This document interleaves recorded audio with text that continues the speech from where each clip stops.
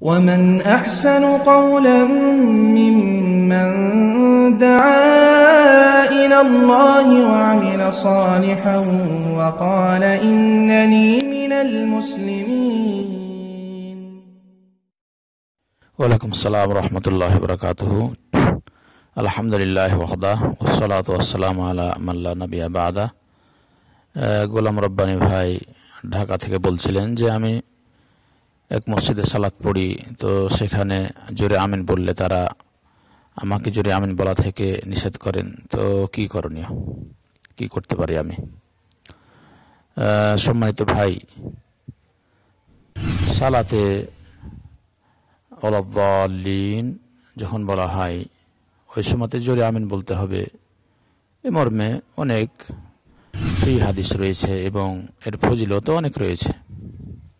এর ফজিলত অনেক রয়েছে। আপনি ইমাম বখারি রাহিমাল্লাহ কিতাবুসলা অধ্যায় খুলবেন, তার ভিতরে আমিনের ফজিলত সম্পর্কে হাদিস এসেছে। আপনি ইমাম মুসলিম রাহিমাল্লাহ তার গ্রন্থ খুলেন, ইমাম আবু দাউদ, নাসাই, তিরমিজি, ইবনি মাজা এবং আমাদের প্রসিদ্ধ গ্রন্থ যেটা বাংলাদেশে মাদ্রাসা বোর্ডগুলোতেও পড়া হয়।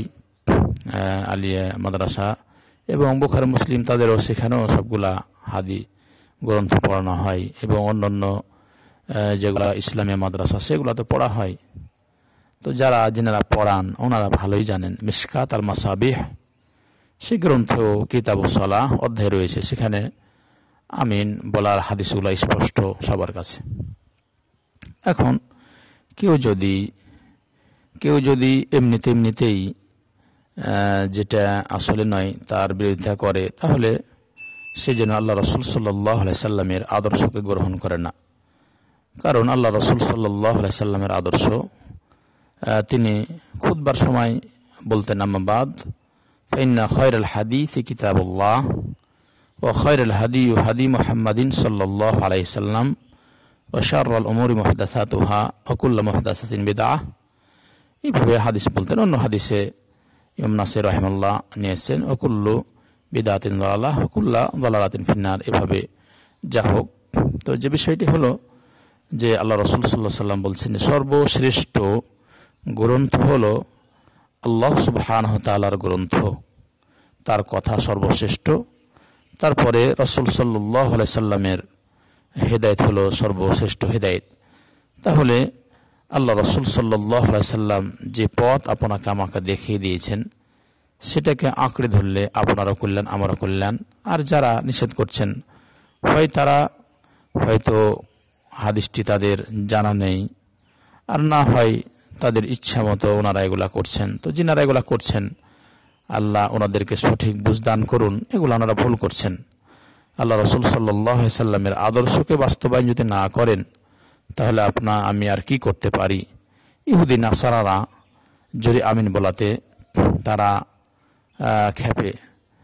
তার মানে যখন আপনি জোরে আমিন বলবেন, যারা এখন বর্তমানে দিন থেকে বাইরে ইহুদি নাসারা, যাদেরকে আমরা জানি, ইহুদি নাসারা, আহলু কিতাব, ওরা জোরে আমিন বলাতে তারা তাদের রাগ হয় জোরে আমিন বলাতে। কারণ যে যখন আপনি ই পড়ছেন সোরা ফাতিহা বলছেন গৈরিল মাগদুবি আলাইহি মোলাদ্দিন মাগদুব, এখানে আপনি তাফসির কারক, তাফসির দেখেন, তাফসির আত্মবারি এবনে জারি রহমল্লার তাফসির বাগাবি ইমাম বাগাবি রহমল্লার তাফসির তাফসির ইবনে কাসির তাফসির জালাইন আরও যেগুলো তাফসির রয়েছে, সেগুলোতে আপনি দেখবেন।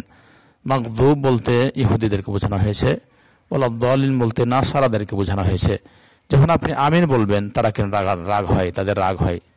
জি, অন্য হাদিস, এটা তো আপনার বললাম। আর হাদিস, যদি যখন ইমাম আমিন বলে, এ আমিনের সাথে আমিন বলার পরে যখন মুক্তাদিও বলে, আর এ আমিন বললে, এর সাথে ফেরেস্তার আমিন বলেন, মুক্তাদির আমিন, আর ফেরেস্তার আমিন, এর সাথে ইমাম যখন আমিন বলেন, এদের সবার যখন আমিন, একাত্রিত হয়ে যায় তখন আল্লাহ সুবাহ তালা যিনি আমিন বলেন এদের গুনা খাতা মাফ করেন তাহলে গুনা খাতা যদি মাফ হয় আমিন বলাতে তাহলে আপনি আমি আমিন বলাতে দোষ কোথায় যারা নিষেধ করছেন ওনারা ভুল করছেন জিনিসগুলো আরও যদি তারা ভালো করে বুঝে দেখেন ইনশাল্লাহ তাদের কল্যাণ হবে আল্লাহ যেন আমাদের সবাইকে আহ, সঠিক পথে পরিচালিত করেন আল্লাহ আলাম من فؤادي حينما رددت يا رب العباد وانتشت روحي وصار الدمع يجري.